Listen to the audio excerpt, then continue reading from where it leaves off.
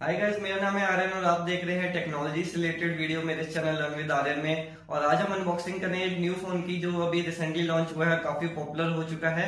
मैं बात कर रहा हूँ मोटो जी फाइव प्लस की। तो चलिए देखते हैं इसके बॉक्स में हमें क्या क्या मिलता है और जल्दी से इसका एक क्विक रिव्यू करते हैं।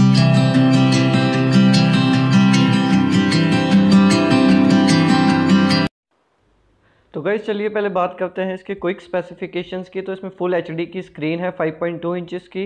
12 मेगापिक्सल का रियर कैमरा है और 5 मेगापिक्सल का फ्रंट कैमरा है। साथ में चार जी रैम बत्तीस जी की हार्ड डिस्क मिल रही है इसमें। तीन हज़ार एम की बैटरी और साथ में ऑक्टा कोर प्रोसेसर मिल रहा है। तो चलिए इसके देखते हैं बॉक्स में। सबसे पहले आप देखेंगे इसमें मोटो जी फाइव प्लस का बहुत ही अच्छा इन्होंने यहाँ पे लोगो लिखा हुआ है। और इसके बाद अगर हम यहाँ पे देखें स्टिकर में तो इसकी I M E I details और बाकी इसके मॉडल नंबर वगैरह के बारे में बताया गया है और डेट ऑफ़ मैन्युफैक्चरिंग मिलेगी आपको। उसके बाद अब इसके बैक साइड पर देखेंगे तो यहाँ पर आपको 5.2 इंचेस की एचडी स्क्रीन मिल रही है, साथ में 2.0 गीगाहर्ट्ज़ का ऑक्टाकोर प्रोसेसर है 12 मेगापिक्सल का रैपिड फोकस कैमरा है 3000 थाउज़ेंड की बैटरी है। और इसमें लिखा गया है कि ये फ़ोन आपको बहुत ही अच्छी लो लाइट में भी इमेजेस कैप्चर करने के लिए ऑप्शन देता है और साथ में बहुत ही अच्छा स्लिक डिज़ाइन है। तो चलिए देखते हैं इसको ओपन करके इसके बॉक्स में हमें क्या क्या मिलता है। वैसे इसका बॉक्स काफ़ी अट्रैक्टिव है, काफ़ी अच्छा डिज़ाइन है। तो सबसे पहले खोलते ही आपको फ्रंट में आपको ये मोटो जी का फ़ोन नज़र आएगा, जिसके ऊपर स्टिकर लगा हुआ है और काफ़ी अच्छा लाइट वेट और हल्का फ़ोन है, जिसको देख कर लगता है कि काफ़ी मेहनत इस पर कंपनी ने केस को बनाने में। और इसका ल्यूनर ग्रे मॉडल है, ये इसमें गोल्ड वेरिएंट में हमको मिल जाता है। और चलिए इसको पहले साइड में रखते हैं और बाकी चीज़ें देखते हैं कि इसके अंदर हमें और क्या क्या मिलता है। तो यहाँ पे हेलो मोटो का एक कार्ड है, जो हमारे वेलकम कार्ड है। इसमें है कुछ नहीं, इसको साइड में रख देते हैं, सिर्फ़ देखने के लिए है ये। और इसमें नज़र आ रहा है मोटो का हेडफोन हेडफोन की क्वालिटी इतनी अच्छी नहीं लग रही है, क्योंकि ये प्लास्टिक से बना हुआ एक नॉर्मल सा हेडफोन है, जो इनके पहले वाले सभी सेट्स के साथ मिलता है। तो अगर आप एक अच्छे हेडफोन की खोज में है, या आप चाहते हैं कि आपको एक अच्छा हेडफोन चाहिए इस फ़ोन के साथ म्यूज़िक सुनने के लिए वॉइस रिकॉर्डिंग के लिए, या और चीज़ों के लिए तो आप मार्केट से न्यू परचेज़ भी कर सकते हैं। इसके बाद देखते हैं इसके अडाप्टर इसका अडाप्टर काफ़ी अच्छा डिज़ाइन किया गया अडाप्टर है और काफ़ी फास्ट टर्बो चार्जिंग अडाप्टर है ये, और आपके फ़ोन को काफ़ी फास्ट ही चार्ज कर देगा और आपकी बैटरी भी काफ़ी देर तक चलेगी, ऐसा कंपनी का कहना है। और उन्होंने पीछे भी लिखा हुआ है कि अगर आप अपने फ़ोन को चार्ज कर लेते हैं तो ऑल डे बैटरी आपकी चल सकती है। इसके बाद जो एक इसके साथ मिलता है, इसका यूएसबी पोर्ट है, जो आपके फ़ोन को चार्ज करने में हेल्प करेगा। इसके बाद इसमें एक जो न्यू चीज़ मुझे दिख रही है, वो है आपकी सिम ट्रे को ओपन करने के लिए आप उसके अंदर सिम डालते हैं, उसको जो इजेक्टर पिन है, वो इसके साथ इन्होंने दी हुई है, उसकी पैकिंग काफ़ी अच्छी आप देख रहे हैं। वैसे सोचने वाली बात है कि ग्रे कलर का फ़ोन है और ब्लैक कलर का चार्जर है और उसके साथ वाइट कलर की इन्होंने पिन दी हुई है, जो कि थोड़ा सा स्ट्रेंज है। आई गेस अगर ब्लैक कलर या ग्रे कलर का ये पिन होता तो और भी ज़्यादा बेटर होता। बट एनीवेज उसके बाद देखते हैं, यहाँ पे कुछ बुकलेट्स आप देखेंगे, जिसमें मैनुअल्स दिए हुए हैं और आपके सेफ्टी इंस्ट्रक्शंस की बुक दी हुई है। आप इसको बाद में पढ़ सकते हैं। हालाँकि डिफरेंट डिफरेंट लैंग्वेज में दिया होता है बट इस बार इन्होंने इसको मेन हिंदी लैंग्वेज में नहीं दिया है। इसके बाद हम देखते हैं फ़ोन को। तो फ़ोन हाथ में लेते ही काफ़ी अच्छा फील होता है, काफ़ी लाइट वेट फ़ोन है और इस बार इन्होंने इसके एजेस को काफ़ी राउंड कर दिया है। ल्यूनर ग्रे इसका कलर वेरिएंट है, जो कि बहुत ही ज़्यादा अच्छा लुक देखता है। तो चलिए इसके स्टिकर को उतार देते हैं। उसके बाद हम इसके फ़ोन को देखते हैं कि इसमें क्या क्या स्पेसिफिकेशन इन्होंने दी गई हैं एक्स्ट्रा क्या फ़ीचर्स इसके अंदर हैं। तो गैज़ यहाँ पे सबसे ऊपर आप देखेंगे तो यहाँ पे सिम ट्रे दिया गया है। जिसमें आप सिम इंसर्ट कर सकते हैं और सिम दो इसमें दिए गए हैं आपको, सिम ट्रे अगर मैं आपको निकाल के दिखाऊँगा। तो यहाँ पे आप देखेंगे तो यहाँ पे आप मेमोरी कार्ड डाल सकते हैं इसकी बैक साइड पर, जो कि बहुत अच्छी बात है कि अगर आपको सिम के साथ मेमोरी कार्ड भी मिल रहा है, और यहाँ पर आप दो नैनो सिम अपने डाल सकते हैं। तो अगर आप डुअल सिम चलाना चाहते हैं तो यहाँ पे कोई प्रॉब्लम नहीं है। कई फ़ोन्स में हाइब्रिड सिम होता है, जहाँ पे एक सिम या एक मेमोरी कार्ड ही डाल सकते हैं। लेकिन यहाँ पर आप दो सिम और साथ में मेमोरी कार्ड डाल सकते हैं, जो कि बहुत ही अच्छी बात इस फ़ोन में मुझे लगी है। उसके बाद हम देखते हैं इसके साइड में तो यहाँ पे आप देखेंगे राइट साइड में ये जो आप बटन देख रहे हैं, ये वॉल्यूम रॉकर बटन है। वॉल्यूम ऊपर या नीचे कर सकते हैं, साथ में पावर बटन आपको दिया गया है यहाँ पे। नीचे आप देखेंगे तो ऑडियो के लिए यहाँ पर आपको जैक दिया गया है। साथ में यहाँ पे यूएसबी केबल लगाने के लिए, चार्जिंग करने के लिए यहाँ पे पोर्ट दिया गया है। और लेफ़्ट साइड में पूरा यहाँ पे फिनिश है, यहाँ पे कुछ नहीं है आपको देखने के लिए। लेकिन इसका डिज़ाइन जो है ल्यूनर ग्रे कलर और ये मोटोरोला का डिम्पल है। साथ में जो कैमरा है, वो बल्ज आउट हुआ है।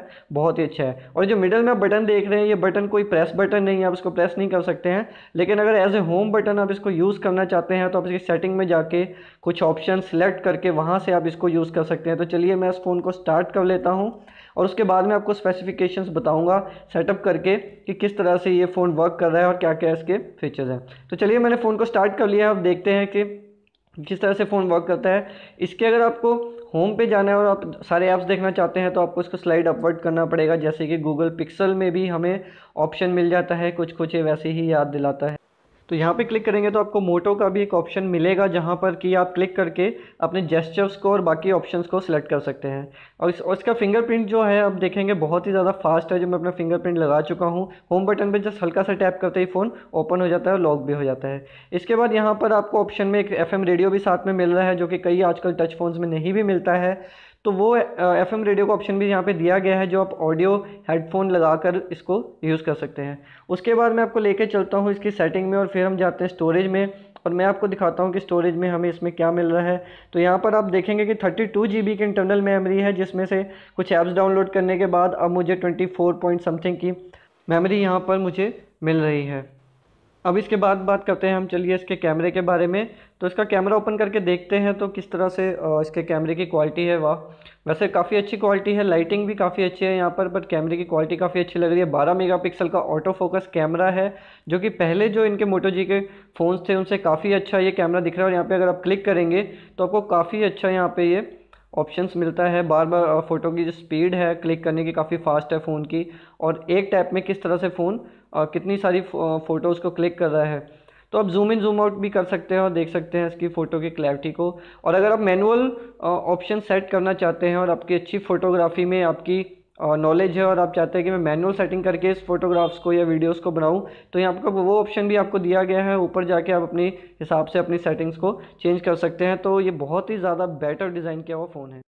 और अगर आप चाहें तो इसके ये जो होम बटन्स आपको दिए गए हैं स्क्रीन पर, इनको भी हटा सकते हैं और अपने बीच वाले बटन को as a home button use कर सकते हैं। उसके लिए आपको यहाँ पर जाना है और क्लिक करना है मोटर के ऑप्शन में। यहाँ पे आपको दिखेगा जेस्चर का ऑप्शन और वहाँ पर आप देखेंगे तो यहाँ पे वन बटन नेविगेशन का ऑप्शन है। उस पर आपको क्लिक करके इस ऑप्शन को ऑन कर देना है। और जैसे ही आप उसको ऑन करते हैं आपका जो होम बटन का ऑप्शन है, ये पुराने तरीके का ये हट जाएगा और आपका बटन जो मेन बटन बीच में दिया गया है, वही as a home button work करेगा। तो आपको इसमें ऑन करके इनेबल करके इसको फिर जो ऑप्शंस आ रहे हैं नेक्स्ट नेक्स्ट के उसको दो तीन बार क्लिक कर देना है। उसके बाद आपका होम बटन ही आपका फिंगरप्रिंट भी बन जाएगा, जिसको आप फिंगरप्रिंट लगा के ऑन कर सकते हैं फ़ोन को फिंगरप्रिंट से ही ऑफ़ कर सकते हैं और फिंगरप्रिंट से ही स्वाइप करके आप राइट या लेफ़्ट कर सकते हैं। जैसे कि मैं आपको दिखाता हूँ, अभी आप देखेंगे यहाँ पे पुराना ऑप्शन हट गया है। अब मैं इस पर अपना थम लगाता हूँ तो फ़ोन मेरा ऑफ़ हो गया है और थम लगाने से दोबारा फ़ोन ऑन हो गया है, मेरा फिंगरप्रिंट वर्क कर रहा है और यहीं से मैं ऊपर स्लाइड कर सकता हूँ। अब अगर आपको, आपने कोई एप्लीकेशंस खोली हुई हैं और आप उनको हटाना चाहते हैं, ढेर सारी एप्लीकेशंस आपकी खुली हुई हैं तो आपको इस तरह से स्वाइप करना है राइट साइड पे। तो आप देखेंगे यहाँ पे सभी ऐप्स मेरे आ गए हैं, जो खुले हुए हैं, मैं इनको हटा देता हूँ। और अगर आपका कोई ऐप खुला है और आप उसको बैक जाना चाहते हैं तो आपको करना है लेफ़्ट में स्वाइप अब देखिए, मैं उसको लेफ़्ट में स्वाइप करता हूँ तो मेरा ऐप बंद हो चुका है। तो ये फीचर है, जो कि मेरे को बहुत अच्छा लगा है। आप दोनों तरह से यूज़ कर सकते हो। और अगर आप वापस अपने बटन्स को, अपने ऑप्शंस को चाहते हैं कि दोबारा से आ जाए तो आप दोबारा से जाके सेटिंग को डिसेबल कर दीजिए। सो गाइज़ आई होप आपको ये क्विक रिव्यू काफ़ी पसंद आया होगा और आपको ये वीडियो कैसा लगा प्लीज़ मुझे कमेंट बॉक्स में ज़रूर बताइएगा।